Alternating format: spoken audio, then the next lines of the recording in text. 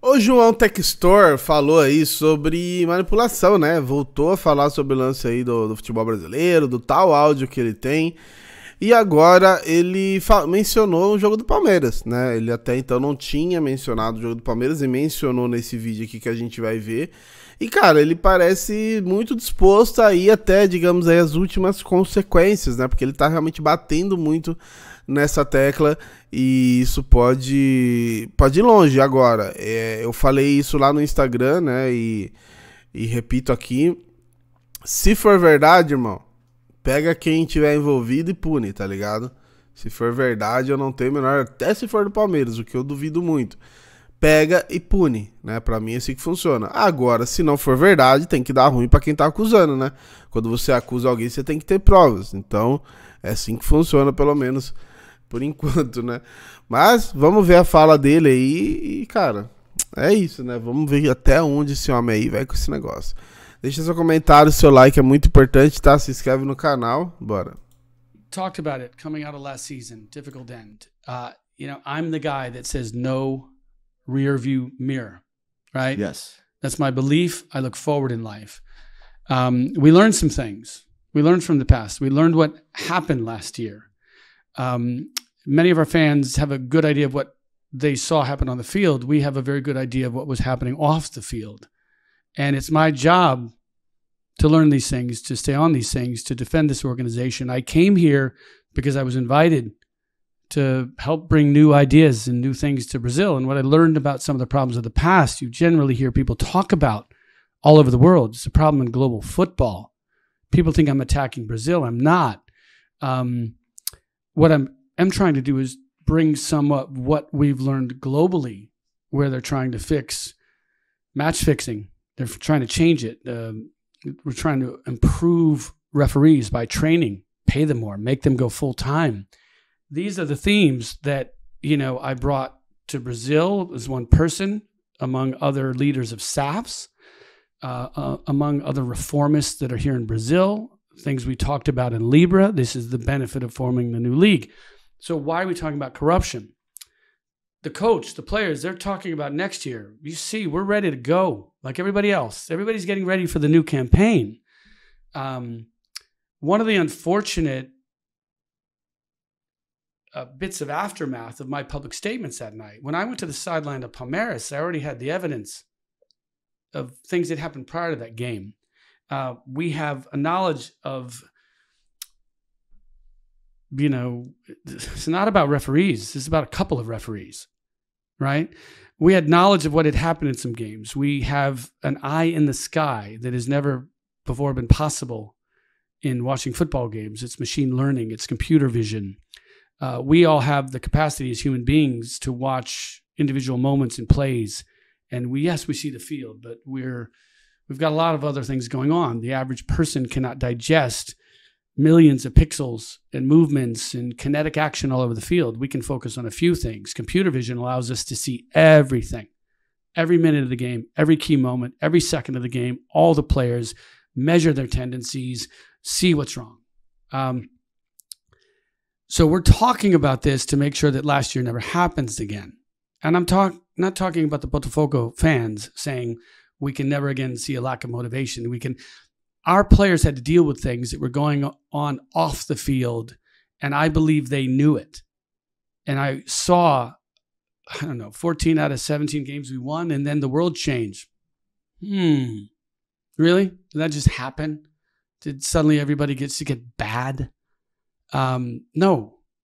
Uh, yeah, football's bad. Other players are good. We had great competition. We had great teams. The people we're going after aren't the players of Palmeiras. There's not one player at Palmeiras involved in the match fixing that we're looking at in Palmeiras games. There's not one official that we are aware of in leadership in the organization, not a coach, not anybody at Palmeiras that we believe is involved that we know is involved in fixing Palmeiras games. This is a battle for the soul of our sport, and we all need to be together. There is not one allegation that I've made against Ednaldo and what was lost in translation from my motion. You look at the film, I never once said this man is corrupt. I don't know him. I've never met with him. He is a leader of this very big organization, and he has his job and I have mine, and we have not come uh, to communicate. Um, I can tell you, I'm talking about corruption because I'm being sued for comments I made about corruption. Uh, I feel very comfortable that, you know, there's an olive branch in both directions between us and CBF as we get ready for the new season. I believe that they've also, I think, probably been looking at the issue too. It's impossible not to. And we feel right now, my current belief, people need to stop putting words in my mouth, talking about me and Ednaldo like he's an agent of change in a different way. I'm an agent of change in a different way. We all have our approach. I believe he is going to be on the right side of history and I believe he's going to be helpful, but we have to provide the evidence. So, what's happening with the lawsuit, my perception is it was filed, uh, it was emotional. Um, I think he had concerns about what he thought was said. And I think he may have very well been justified to defend himself and his name based on what he thought I was saying. I think I've learned a lot about communication in this country. And so, what I've done, I would ask everybody in leadership in the sport to do a little bit, right? If you're in the sport court and you're a judge, stop talking to the press about the crazy gringo and covering his bad performance because you are on the wrong side of history. You don't have the data, you haven't seen the evidence. When we tried to show the evidence to the sport court the first time, it was 74 pages. It was match fixing on a specific game. It was people coming and paying players to tank a game. And that got 18 hours of consideration by the sport court before they immediately came out with a statement and said this is nothing, there's no legal grounds. Well, 10 years of technology, reputation, the people that created that report, um, the people that created that report uh, come, they've been in Brazil looking at these games for long before we got here. And they were immediately discredited by people that don't want this conversation to say, well, Botafogo hired him, you can't listen to them. Oh my goodness, that's unhelpful for the evolution of our sport. Uh, they were here before us. They'll tell you they they have clients that lose money, professional organizations and betting companies and governing bodies and others that that want a clean game. They have others that lose money when it's a fixed game. That's why they were here. That's how we met them. That's how we found out about match fixing in 2021, 2022, 2023.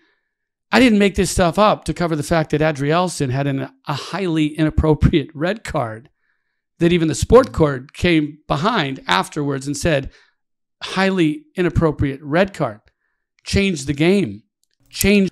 Imagina, cartão vermelho inapropriado, você fazer a falta no cara que tá indo direto para dentro da área e ser no último homem. The championship. And if I talk about it, people in the press are saying I'm crying. I don't cry. Desculpa. É, eu, eu fico lembrando, cara, desculpa parar aqui, é que assim, além do Adriel ser expulso, pra claramente uma expulsão ali, tem o pênalti do Tiquinho Soares logo na seguida, né? Poderia não ter dado pênalti, já que a parada tá tão manipulada assim. Mas eu vou falar, eu vou dar minha opinião sincera no final aqui. Come at me if you're to say that. I'm here communicating with information. I'll go on TV, I'll be interviewed, but the jokers that are in positions of power that want to minimize this because of reasons I, I, I, I, I don't understand. I'm not here to impugn anybody's integrity. Evidence. Um, you know, look, we're talking about corruption because the lawsuit is still open. If you want me to stop talking about corruption, don't keep an active criminal lawsuit against the leader of an organization in court for months and months and months. It'll be years going into the next season. I was invited to help build the sport, but I'm in court defending my desire to push reforms in this sport. So I do think that lawsuit's going to go away because I know the people that filed it seem to be agents of change in their own way, making a lot of progress on these issues separate from us. I don't think that's a fight that's going to last long. I um, yeah, I think I think we're going to be fine with the CBF. So let me talk about everybody else. Globo. When I give you a direct quote and I ask to be recorded and I put it there, if you are not trying to manipulate my language, then why do you wrap it in an article about a lot of other nonsense that I'm not talking about? I have never once said that I have a referee on tape involved in match fixing a game in Serie A or related to Botafogo in Serie A or Serie B. That's never been said. So the incredible lack of direct in the, the lack of direct communication that happens here by a major media company. I'm not going to allege what their agenda is. I'm learning down here. But why would Globo take the straight audio tape of my comments yesterday uh, with a trusted reporter who maybe was in a fight with his editors. I don't know. And the article I read today is a, a, is an incredibly misleading mischaracterization of what I said. They have the tape, translate it, put in Portuguese. I gave them permission. What I read this morning, the referee tape to clarify. My state of mind at the end of last season, as I saw what we believe and can prove now was corruption, was environmental. I was given a recording by an official connected with CBF. It was validated, authenticated. It was uh, told to me by credible authorities here, not journalists, not agents, that it was also in the hands of the police, that had been in the hands of governing bodies for a year. And it was a lower division. It's a game that is known to us it's there's a coach, there's a team, there are people that we have authenticated. And it is a tape of a referee talking about he was upset that he lost money because the game he was trying to fix did not go the way he was trying to influence. He was specific. He gave a minute on the clock that he awarded a PK that he shouldn't have. And the striker of the ball in the PK hit the post and he complained and he said, I did everything I could. Um, and I will trust others to do the Portuguese translation because I will produce his audio today.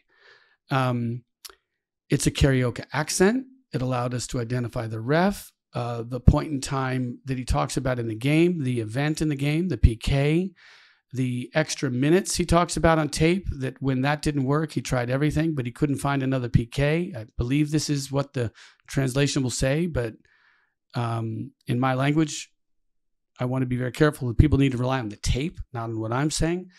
And so i think what concerned me at the time is that people often talk about corruption and they throw players into the mix all the time because that's the easy one. Somebody was paid for a yellow card. It's not even illegal. People find out uh, they apologize. I don't know what the recourse is, remedies are in different parts of the world. But around the time that that tape uh, was in the hands of governing bodies, there was a match fixing report that was also produced. I believe it was sent, and we provided evidence of this to the court already. Um, the match fixing report related to a game in the end of 2022. It was a Palmeiras game. Uh, there appears to be no evidence that Palmeiras was involved. It was Palmeiras Fortaleza. Um, that evidence was sent to the CBF. I don't know who it got to at the CBF. I am not alleging that it made it out of the mailroom at the CBF. I wasn't involved. So I have match fixing evidence that we've now looked into from prior years before Botafogo was involved the the jokers out in the world that talk about us crying, do I look like I'm crying? No, no. No, I'm not crying. I'm doing my best to help. So these this company was here before us. They were analyzing games before us. Betting companies lose money when there's match fixing. Why do they hire them? Well, they can't fix it, so they don't want to lose money. I would suspect that they hire firms like this because they want to set the odds. Uh, somebody's going to have to translate the gambling numbers to to adjust for the risk in that particular game that one team with consistent manipulation, uh, not speaking about Palmeiras specifically here, but talking about the concept. If there's a team that has a lot of activity, a lot of strange betting activity, uh, manipulation happens, well, these guys know it. They don't go to the press. They're running a business. They're trying to run an actuarial business. So that's why we're talking about this. That's what our evidence shows. Look, we talked about it coming out of last. Acabou a fala dele aqui, cara. É isso. É, mano, ó, vou falar sinceramente. Eu duvido que tenha manipulação no futebol brasileiro. Não duvido. Eu, em 2005, né, que o Corinthians foi campeão. E não é porque o Corinthians foi campeão, é por tudo o que aconteceu. Eu parei de assistir futebol brasileiro. Parei totalmente, abandonei mesmo, depois que eu voltei, uns anos depois. É, mas ele faz acusações graves, né? Ele fala ali sobre um jogo de divisão menor né, que, que tem áudio do, do, de um árbitro com sotaque carioca e tudo, então me parece bem específico. É, fala ali de Palmeiras e Fortaleza, né, que é, puta, foi um jogo que o Palmeiras empatou com um jogador a menos, né, então não sei exatamente do que ele tá falando. Vocês lembram que o Zé Rafael fez o gol ali, a gente tava com o jogador a menos, jogo difícil pra caramba, um 2 a 2 meu Deus do céu. Foi um dos mais difíceis da reta final. Então, cara, é o que eu falei. Se for verdade, mano, que puna, e puna real, assim, que tiver envolvido. Agora, se ele tiver blefando, vai dar ruim pra ele, porque ele tá fazendo um barulho absurdo e falando muita coisa genérica, né? Ele tá falando muita coisa genérica que, que parece que de alguém que tá fazendo rodeios, assim. Então, se você tem prova, você tem que já logo jogar a parada, né? Mas enfim, o STJD deu acho que três dias para ele, né? Provar. É, aqui tudo indica aí, ele vai ter que se virar com essas provas que ele tem. Mas são acusações realmente muito graves, mano. Se for verdade, vai causar algum barulho. E se for mentira, ele além de prejudicar ele mesmo, ele prejudica ainda mais o Botafogo, que já não tá voando, né? Aí vai ficar pior ainda. Então, vamos ver o que vai acontecer aí, né? Mas o homem tá aí, beleza? Deixa seu comentário aí, seu like é muito importante. Tamo junto.